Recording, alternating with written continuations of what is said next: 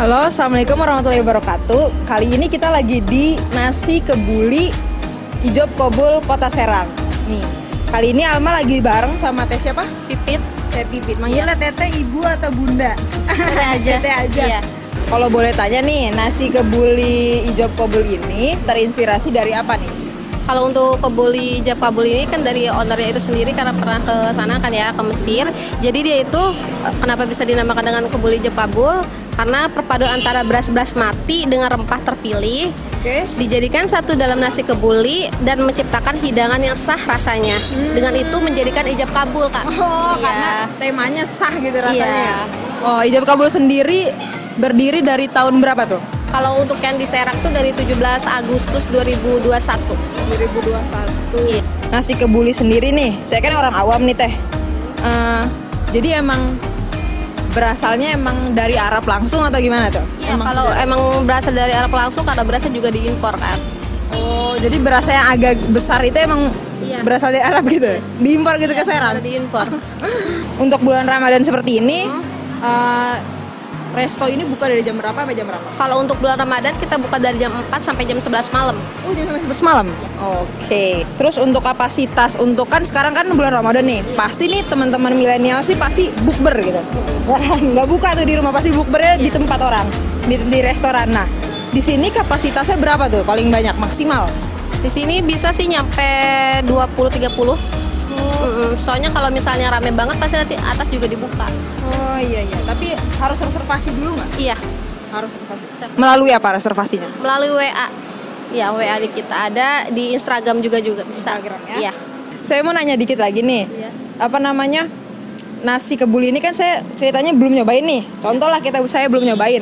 Ini dominan rasanya seperti apa? Untuk rasanya itu pedas ya, tapi pedasnya itu dari rempah-rempahnya, Kak. Oh, tapi masih bisa dimakan lah ya. Masih bisa dimakan untuk anak kecil, untuk anak kecil juga bisa. Soalnya Oke. sambal juga terpisah. Oh. Tapi terus eh, lauknya ayam atau dagingnya itu pedas gitu nggak? Kalau untuk ayam dan yang lainnya itu tidak pedas kak, soalnya untuk pedasnya hanya di sambal saja. Hmm, iya iya iya. Terus eh, untuk favorit minuman? Favorit minuman di sini rata-rata sih teh Arab sama yang premium dream itu ada coklat Oreo, tamar hindi dan mango lassi. Untuk bulan Ramadan seperti ini ada promo khusus nggak di nasi kebuli apa hijau kebuli ini? Ya kita ada promo paket khusus itu paket rahmat satu yang antara lain isinya tuh nasi kebuli ayam besar sama sapi, free dan teh Arabnya dua. Oke, terus rahmat Sama dua. rahmat dua itu isinya ayam besar sama kambing dan dua teh Arab. Oke. ada ada besek kebuli juga yang biasa kan pakai loyang kalau di hari biasa tapi selama bulan Ramadan kita pakainya besek kebuli Oh iya iya. Iya. Oke deh. Terus untuk teman-teman kabar Banten yang pengen tahu nih alamatnya di mana nih? untuk alamatnya tuh di Jalan Ahmad Yani Sumber Pecung nomor 108 Buat kepoin Instagramnya ada di mana? di Kebuli Ijab Kabul ya Kebuli underscore Ijab Kabul Serang Oke.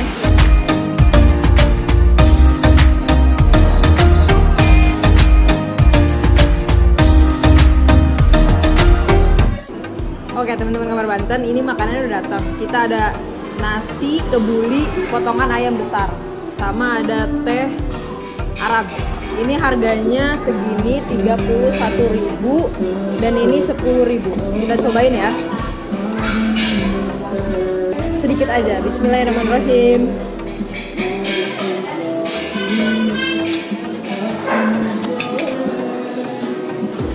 wangi wangi terus juga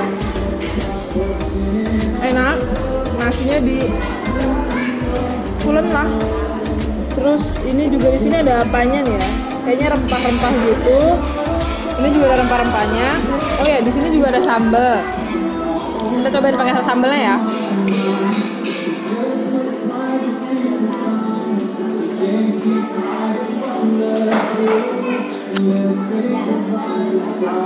Pedes sambalnya pedes tapi masih bisa dimakan. Tapi buat saya yang nggak suka pedes ini pedes banget. Ini kita cobain ayamnya ya.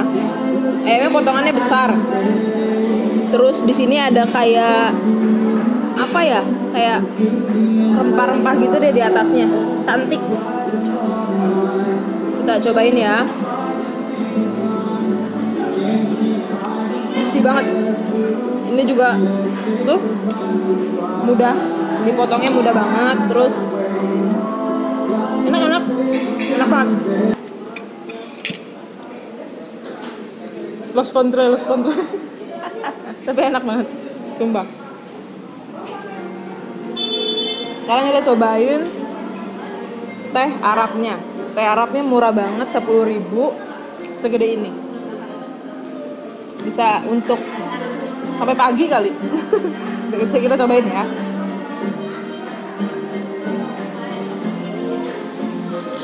seger enak manisnya pas tehnya juga nggak nggak pahit-pahit manis manis ini manis banget enak. Cocok. Semuanya ini perpaduannya cocok. Siap Kebetulan baru pertama kali ke sini Oh, udah, udah sih. Tahu dari siapa, Mas? Jauh dari internet sih. Muncul di Instagram gitu Foto-fotonya Media sosial. Iya media sosial gitu Terus gimana nih suasananya review Mas gimana? Suasana. Suasananya enak sih, nyaman juga Tempatnya juga bagus juga Dan di pinggir jalan juga jadinya aksesnya gampang gitu Dekorasinya juga ya. Bagus, dekorasinya juga Buat foto-foto juga bagus Kalau untuk menu buka puasa kali ini milihnya menu apa, Mas? Tentunya eh, pakai Rahman, Rahman dan hemat Jadinya eh, selain harganya juga Makanan juga enak, harganya juga lumayan terjangkau lah Oh iya.